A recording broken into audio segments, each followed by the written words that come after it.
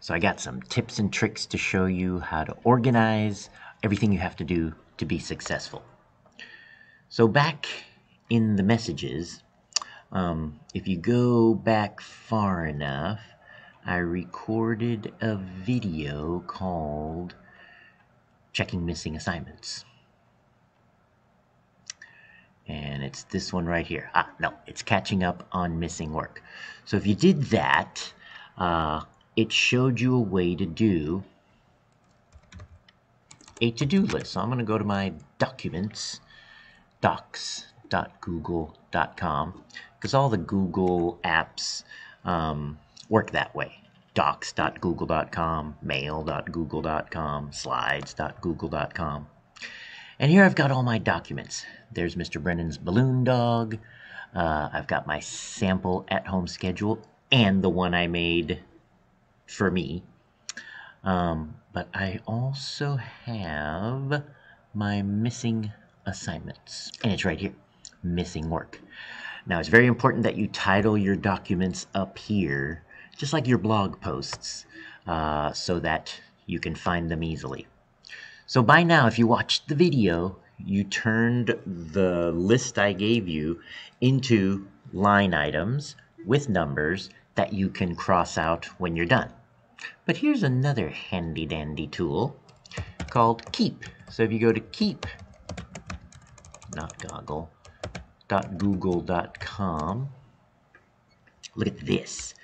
Uh, there's a dark theme and a light theme, and I'm trying out the dark theme.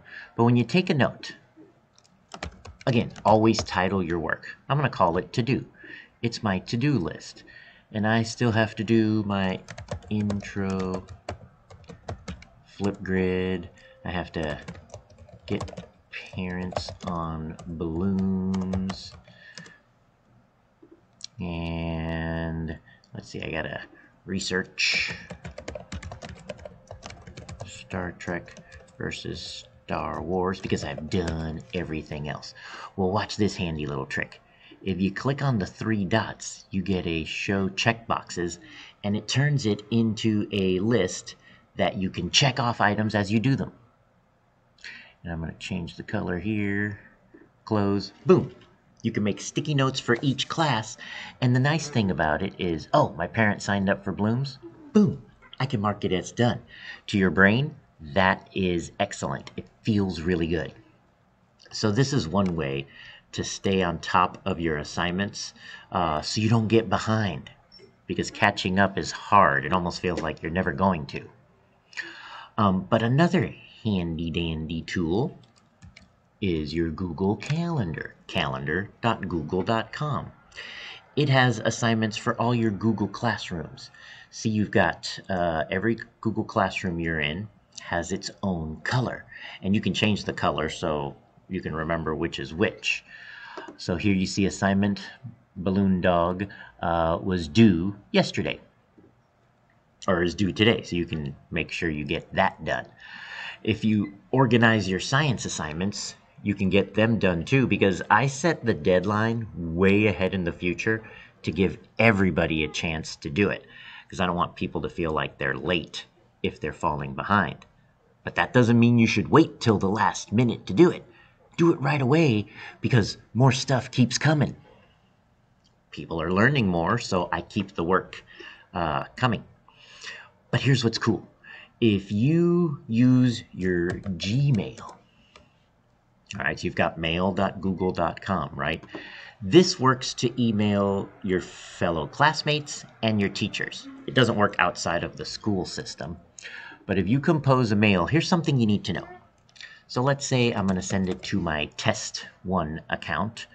Uh, you just start typing their name and it shows up. So I'm going to pick, yeah, this one, test one. Now, here's something that a few of you uh, are, are not distinguishing. Where it says subject is where the title goes. This is where you let the person who's getting your email know what the email's about.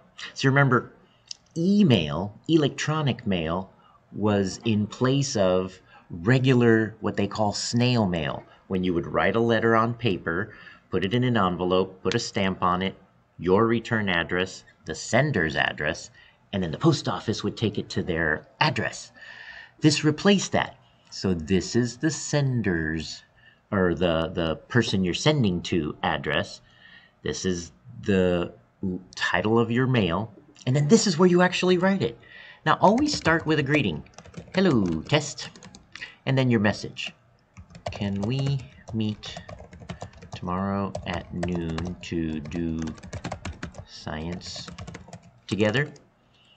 And then you say something like bye or thank you, and then sign off with your name.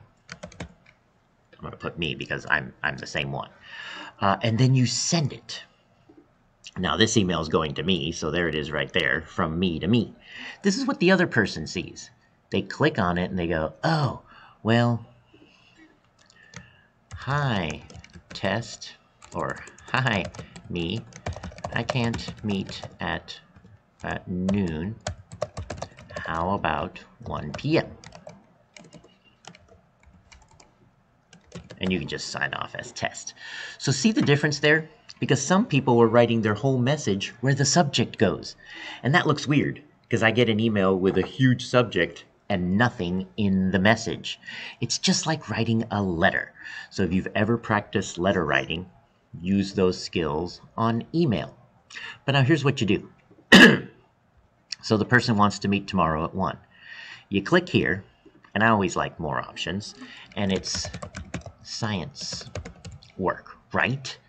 Uncheck all day and put it at 1 when your friend can meet. Now let's give ourselves an hour. And look, you add a Google Meet conference, boom, it's done. And I always like to add a notification for um, one day before and then 10 minutes before or, or give yourself maybe 15 so you can finish what you're doing. And you can even add a description. But here's the important part.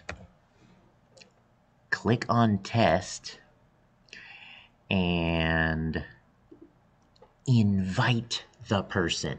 This way, when you save the message and send it, they get an email alert, they get a calendar invite, and they get the link to your Google Meet. This is how you organize yourself. That's what these tools are for. And I'm going to discard it because I don't really want to schedule a meeting with myself. But you've got your calendar, you've got your email, you've got Google Keep. These are three powerful tools for getting organized and staying organized and getting help if you need somebody to work with. It's nice to work in teams with your Google Meet. So I hope these tips help. Try them, use them, get good at them. You'll use them your whole life. You'll see.